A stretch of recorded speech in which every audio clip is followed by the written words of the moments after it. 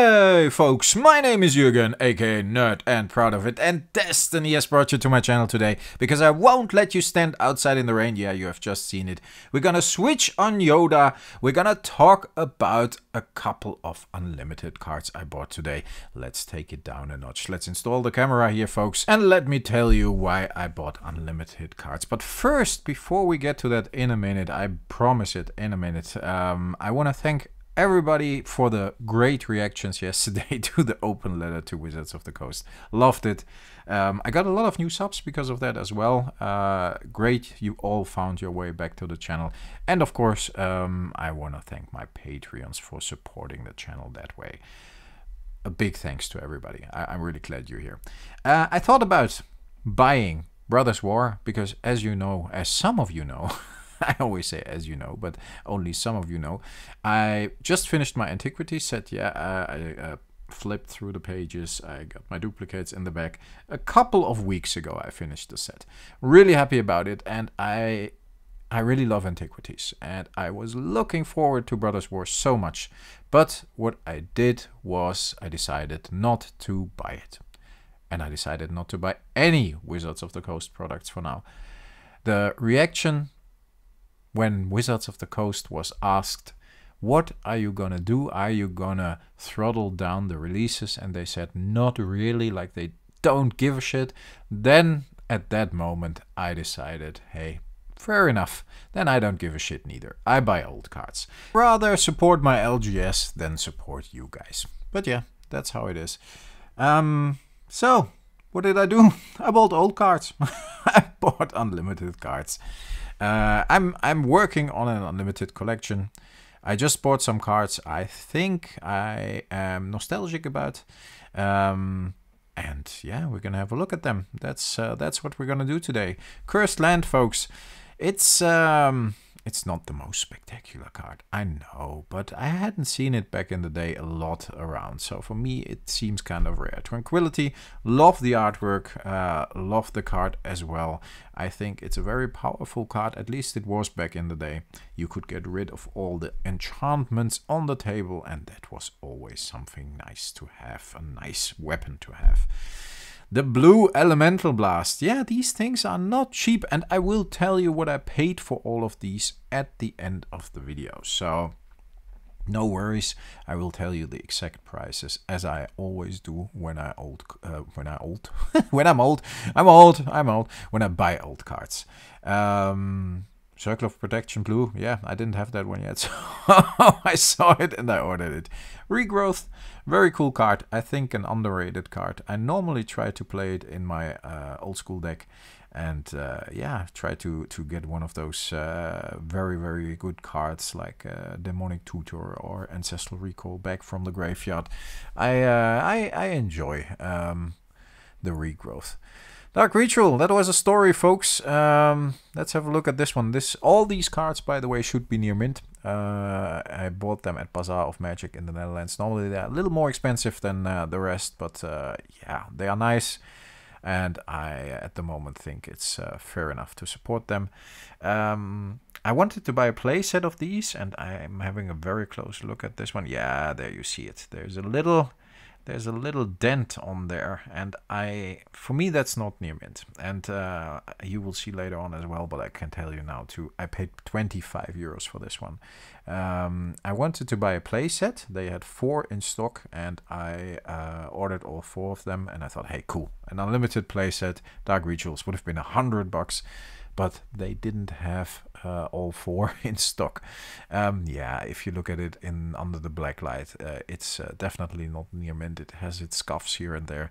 Um, they didn't have all four of them in stock, and only three of them. And I thought, yeah, then I can chase uh, one dark ritual down uh, somewhere. I don't know. I, I I was like spontaneously hitting buy, but then I said, okay, uh, just send me one I hope they didn't send me the worst one of the near mint ones, but uh, just send me one, and uh, I uh, have chosen for the 75 bucks. I didn't spend on this one. I have chosen some other cards, and I will show them in another video. Unsummons. Uh, I actually bought five, but I put one in the unlimited binder as well. already. Um, so I saw these, bought a playset. Uh, were fairly priced, uh, various conditions uh, from uh, like uh, light plate to uh, to good. The one I have in the binder already should be near mint.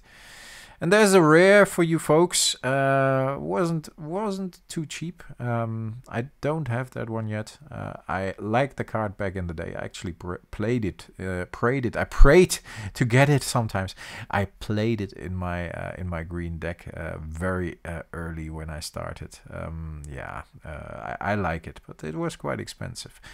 And uh, last but not least, a favorite of mine, that's Zombie Master. I love this card. I think it's an awesome card. Um, I saw people play zombie decks back in the day. This one is uh, near mint. The price was accordingly. Again, I will tell you in a minute what I paid for all of these. Um, I still think it's okay. Uh, I, yeah, it has its scuffs the here and there as well, like a little rough around the edges. I, I used uh, to say, um, but uh, it is a really cool card, and I honestly, yeah, I'm very happy I can add it to the collection. So what we're gonna do, folks? Um, we're gonna double sleeve these. Uh, I'm gonna put timestamps uh, in the video as well. I wanted to say that in the beginning, but I guess you see it uh, and uh, split the video in the parts of the intro, uh, the parts of having a look at the cards, uh, the part of adding them to the binder, because that's what we're gonna do as well, and of course the part where we talk about the cost. So in general, folks, I'm not planning spending a lot on Magic the Gathering at the moment.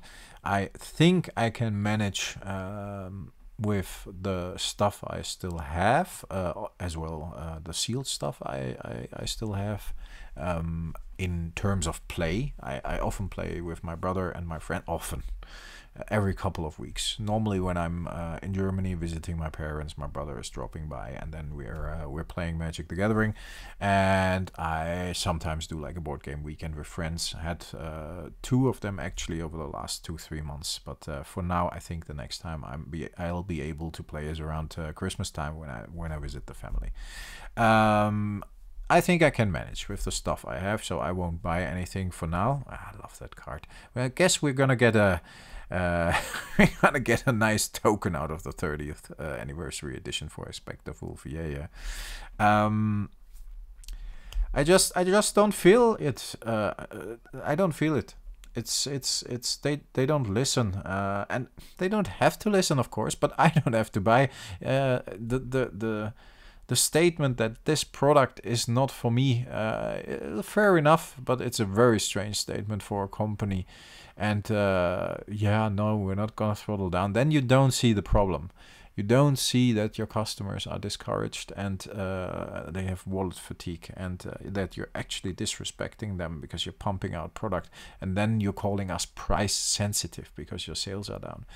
Um, so we should we sh should don't buy it. We shouldn't buy it. But uh, if we don't, we're price sensitive. all right, then I just don't buy it. it's as easy as, as that.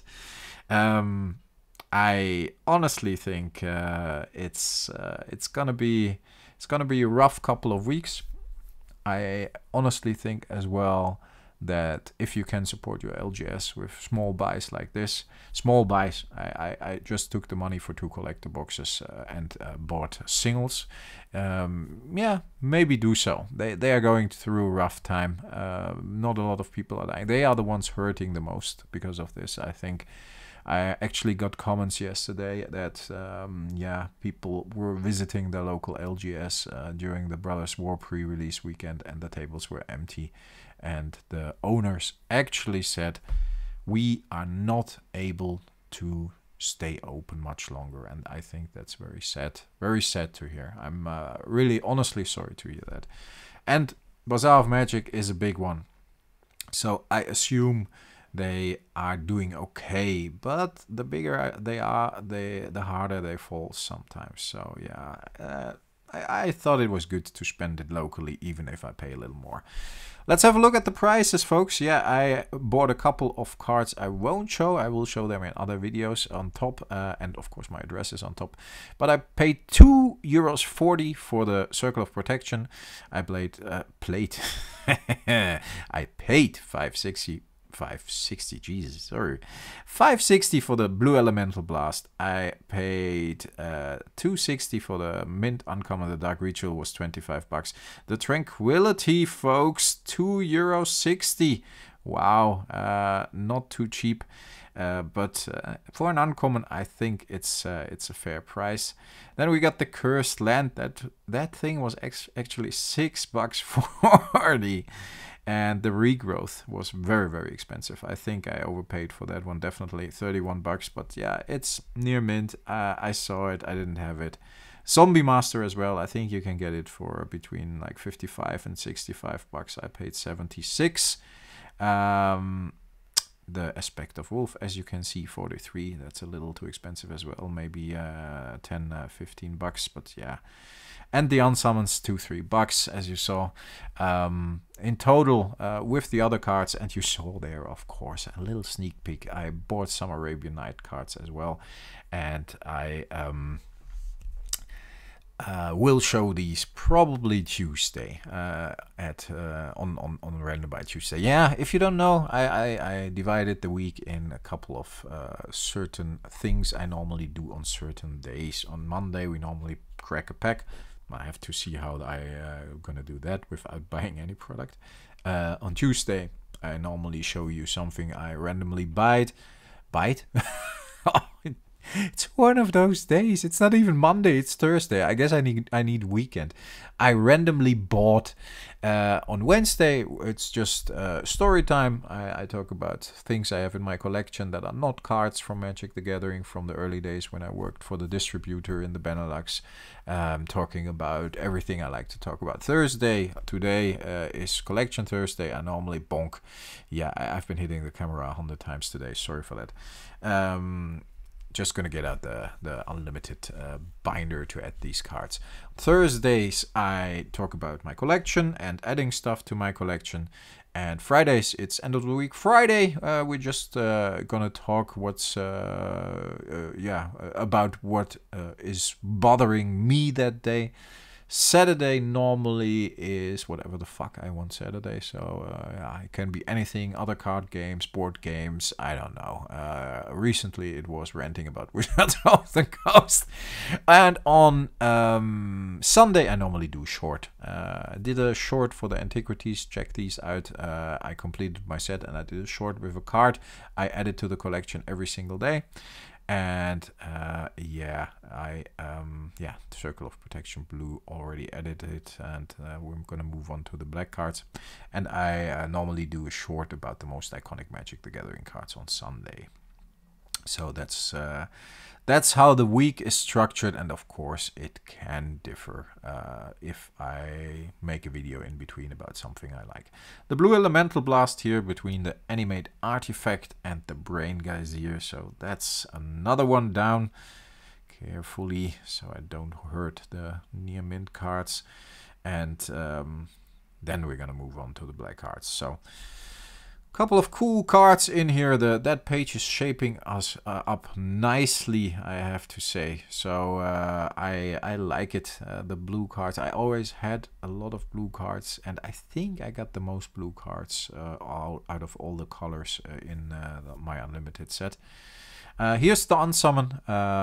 the other four here, I, I thought, yeah, let's get a playset. Maybe I can use it in like a like a vintage deck or something, just for fun. And I added the near mint one already so I don't confuse them. Um, and I don't mix up uh, uh, edit it to the front of the binder. I'm gonna add the other ones to the back of the binder. I do my add my duplicates to the to the back of this binder. Cursed land should be around here. We got, uh, of course, uh, the Black Knight, and I think Bog Wraith, and then uh, something else. And be behind no next next to the cursed land should be the dark ritual. I probably overpaid a lot for that one but it looks it looks nice, and yeah, it's okay to support your LGS once in a while, right? Um, Zombie Master should be the last card uh, of the black cards here and it is I like these kind of rares. I, I bought a couple of them. I bought the Nightmare, bought the Word of Command a, a while ago already. Uh, I bought them all for a pretty fair price. I think 76 bucks for the Zombie Master is quite a heavy price, but look at it. Uh, it's uh, it's not gonna leave this collection, and uh, I'm I'm happy with it. So fair enough. Um, green ones. Then we should have the aspect of wolf? Is it up there? No there's the wheel of fortune missing. I think that's the last red card uh, alphabetically. Then we should have the aspect of wolf and then cards like the birds. And there's another one uh, in there. So yeah it should be here i think. Um,